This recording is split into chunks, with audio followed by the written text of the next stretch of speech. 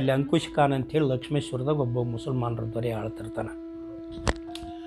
ಅವನ್ನ ಗುಡಿ ಕಟ್ಟಿಸ್ಬೇಕು ಅವನ ಕಡೆಯಿಂದ ಅಂಥೇಳಿ ಈತ ಮೌನೇಶ್ವರ ವಿಚಾರ ಮಾಡಿ ಆ ಲಕ್ಷ್ಮೇಶ್ವರಕ್ಕೆ ಹೋಗ್ತಾನೆ. ಲಕ್ಷ್ಮೇಶ್ವರಕ್ಕೆ ಹೋಗೋತ್ನಾಗ ಆ ಊರಾಗ ಬರ, ನೀರು ಇರೋದಿಲ್ಲ. ಬಾವಿ ತೋಡಿಸ್ತಿರ್ತಾನ ಅವ ರಾಜ. ಎಲ್ಲರೂ ಇಡೀ ಊರು ಮಂದಿ ಬಂದು ಬಾವಿ ತೋಡ್ತಿರ್ತಾರೆ. ಅವಾಗ ಅವ ಏನು ಮಾಡ್ಬಿಡ್ತಾನೆ, ಯಾರು ಭಿಕ್ಷುಕ ಸಹಿತ ಬರಲಿ ಅವ್ರು ಅವ್ರನ್ನ ಹಿಡಿದು ಹಿಡಿದು ಬಾವಿ ತೋಡ್ರಲಿ ಅಂಥೇಳಿ ಅಗದಿ ಆಜ್ಞೆ ಸಿಟ್ಟಲ್ಲಿ ಆಜ್ಞೆ ಮಾಡಿ ಕೆಲಸ ಮಾಡಿಸ್ತಿರ್ತಾನೆ. ಅವಾಗ ಇತ್ನು ಹೋಗ್ತಾನೆ ಈತನು ಹೋದಾಗ, ಏ ಹರಾಮ್ಕೋರ್, ನೀನೇನು ಮಾಡ್ತೀನಿ ನೀನು ಬಂದು ನೀರು ಬಾವಿ ಕಡಿ ಬಾ ಅಂಥೇಳಿ ಹಿಂದಿಯೊಳಗೆ ಮಾತಾಡ್ತಾನೆ. ಅವಾಗ ತೆಗೆ ಸಿಟ್ಟು ಬಂದು, ನೀನು ಇಷ್ಟು ಮಂದಿ ಬಾವಿ ಕಡ್ಸಕ್ಕೆ ನಾ ಒಬ್ಬನ ಕಡಿತೀನಿ. ನೀರು ತಂದ್ರೆ ನೀ ಏನು ಕೊಡ್ತೀನಿ ನನಗೆ ಅಂಥೇಳಿ ಚಾಲೆಂಜ್ ಮಾಡ್ತಾನೆ. ಏ, ನೀ ಬೇಡಿದ್ದು ನೀ ಹೇಳಿದ್ದು ಮಾಡ್ತೀನಿ ಅಂತಾನೆ. ಅವಾಗ ಹಾಗಾರ ಆಗಲಿ ಅಂಥೇಳಿ ಎಲ್ಲರಿಗೂ ಮ್ಯಾಕ್ ಬರ್ರಿ ಅಂಥೇಳಿ ಹೇಳ್ಬಿಡ್ತಾನೆ. ಇವತ್ತು ಒಬ್ಬತ್ತನ ಹೋಗಿ ಒಂದು ನಾಲ್ಕು ಗುದ್ಲಿ ಹೆಟ್ಟು ಹಾಕಿ ಮಣ್ಣು ತೆಗೆಯುತ್ತಲೇ ಬೋರ್ ಕರೆದು ನೀರು ಬರಕತ್ತತ್ತೆ. ನೀರಿಗೆ ಬರಕತ್ತಿಂದ ಮತ್ತೆ ನಾವು ರಾಜನ ಮಾತಿಗೆ ಮಾತು ಬೆಲೆ ಕೊಟ್ಟು ನೀನು ಗುಡಿ ಕಟ್ಟಿಸ್ತೀನಪ್ಪ ಅಂಥೇಳಿ ಬರ್ತಾನೆ. ಗುಡಿ ಕಟ್ಸಕ್ಕೆ ಹೋಗ್ತಾನೆ ನಾ ಕಟ್ಟಿಸ್ತೀನಿ ಅನ್ನೋದು ಒಂದು ಮನ್ಸು ಮುಸಲ್ಮಾನರಿಗೆ ಅಹಂಕಾರ ಇರ್ತೈತಲ್ಲ. ಅದು ಏನಾಗುತ್ತಪ್ಪ ಅಂತ ದಿನ ಎಷ್ಟು ಕಟ್ಟಿಸಿರ್ತಾನೆ ಅಷ್ಟು ಮತ್ತು ನೆಲದಾಗ ಹೋಗ್ಬಿಡುತ್ತೆ. ಮತ್ತು ನೆಲ ಸಾಪ ಇರ್ತೈತಿ. ಇದರಂತ ಏಳು ಸಲ ಕಡಿಸಿದ್ರೂ ಸಹಿತ ಅದು ಹಂಗೆ ಇರ್ತೈತಿ. ಅವಾಗ ತಪ್ಪಾತಪ್ಪ ನಾ ಅಂಥೇಳಿ ನಾ ಅಹಂಕಾರ ಪಟ್ಟು ಅಂದಿನಿ ಗುರುವೆ ಹಿಂಗೆ ಯಾಕಿದು ಅಂತಂದಾಗ ನಾ ಅನ್ನೋದು ಬಿಟ್ಟು ನೀ ಕಟ್ಟಿಸಪ್ಪ ಅಂದ್ರೆ ಅದು ಇದಾಗುತ್ತಂತಂದಿಂದ ಮತ್ತು ಮ್ಯಾಗಿನ ಅಂತಸ್ತು ಮಾಡಿ ಗುಮ್ಟ ಗಿಮ್ಟ ಆಗಿಂದ ಅದು ರೆಡಿ ಆಗುತ್ತೆ.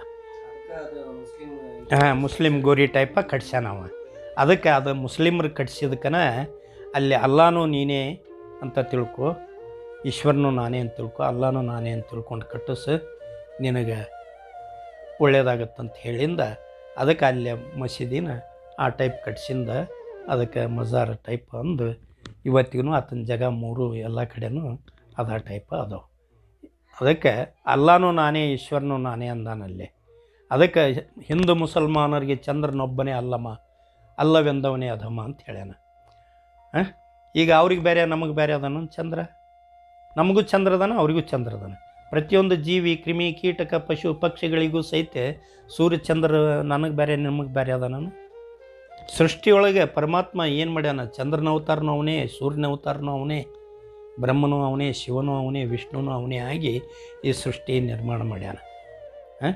ಬ್ರಹ್ಮಗೊರ ಕೊಟ್ಟು ಬ್ರಹ್ಮನ ಹುಟ್ಟಿಸಿ ಬ್ರಹ್ಮನಿಂದ ಆ, ವೇದಗಳು ಐದು ಗ್ರಂಥಗಳು, ಐದು ಇದನ್ನು ಮಾಡಿ ಬ್ರಹ್ಮಗೆ ಆಜ್ಞೆ ಮಾಡಿದ. ಬ್ರಹ್ಮ ಸೃಷ್ಟಿ ಕರ್, ಕಾರ್ಯ ಚಾಲೂ ಮಾಡಿದ. ವಿಷ್ಣು ಏನು ಮಾಡಿದ? ಪಾಲನಾ ಮಾಡಕತ್ತಿದ. ಈ ಜಗತ್ತನ್ನು ಪಾಲನಾ ಮಾಡಪ್ಪ ನೀನು. ಶಿವನಿಗೆ ಏನು ಮಾಡಿದ? ನೀನು ಲಯ ಮಾಡು.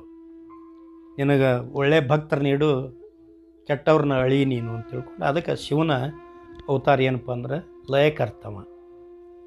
ಈ ಮೂರು ರೂಪದೊಳಗೆ ಮತ್ತು ತಾನು ಅಲ್ಲಿ ಪಂಚಮುಖ ಪರಮಾತ್ಮನಾಗೆ ಸೂರ್ಯಚಂದ್ರನಾಗಿನೂ ಅದಾನ. ಅದಕ್ಕೆ ಸೂರ್ಯನ ಅವತಾರನು ವಿಶ್ವಕರ್ಮನ. ಈಗ ಅದಕ್ಕೆ ಮುಸ್ಲಿಮರಿಗೆ ಏನು ಹೇಳಿದ?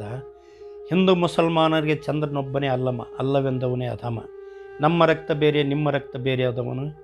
ನನ್ನ ತಾಯಿ ಬೇರೆ, ನಿನ್ನ ತಾಯಿ ಬೇರೆ ಐತನು. ರಕ್ತ, ಮಾಂಸ, ಎಲುಬು, ತೊಗಲು, ಇವು ಮಾಂಸ, ಮಜ್ಜ, ಮೊದಲು ಇದು ಏನೈತಪ್ಪ ಅಂದ್ರೆ ಪರಮಾತ್ಮನ ಸೃಷ್ಟಿ ಇದು. ಚರ್ಮ, ತೊಗಲು ಮಾಂಸ, ಮಜ್ಜೆ, ಎಲುಬು. ತಾಯಿ ಗರ್ಭದಿಂದ, ತಾಯಿ ವೀರ್ಯದಿಂದ ರಕ್ತ, ಮಾಂಸ, ತೊಗಲು ಆಕೈತಿ. ತಂದೆ ವೀರ್ಯದಿಂದ ಎಲುಬು ಉತ್ಪನ್ನ ಆಗುತ್ತೆ. ಮೊದಲು ಇದು ಒಂದು ಏನಪ್ಪ? ಮಾಂಸದ ಮುದ್ದಿ. ಗರ್ಭದೊಳಗೆ, ಬ್ರಹ್ಮಾಂಡದೊಳಗೆ. ಅಣುರೂಪದಾಗ ಕೂಡಿ ಅಂಡ ಪಿಂಡಾಂಡಮಯವಾಗಿ ಇದು ಗರ್ಭದೊಳಗೆ ಏನಾಗುತ್ತಪ್ಪ ಅಂದ್ರೆ, ಕೂಸಿನ ರೂಪ ಆಗುತ್ತೆ. ಆ ಕೂಸು ಹೊರಗೆ ಒಂಬತ್ತು ತಿಂಗಳ ಹೊರಗೆ ಬಂದ ಮೇಲೆ ಏನಾಗುತ್ತೆ? ಆ? ಊಟ ಮಾಡ್ತಾ ಮಾಡ್ತಾ ಮಾಡ್ತಾ ಎಲುಬು, ಮಾಂಸ, ಮಜ್ಜೆ ಮಿದು ಎಲ್ಲ ಇದಕ್ಕೆ ಆಕಾರ ಬಂದು ಇದು ಒಂದು ಮಾನವ ಮೂರ್ತಿ ಆಗುತ್ತೆ. ಮೊದಲ ತಾಯಿಲಿಂದ ಒಬ್ಬಲ್ಲಿಂದ ನಮ್ಮ ಮಗ ಆಗುತ್ತಾನೆ? ತಂದೆಲಿಂದನೂ ಒಂದಾಗುತ್ತಾನೆ?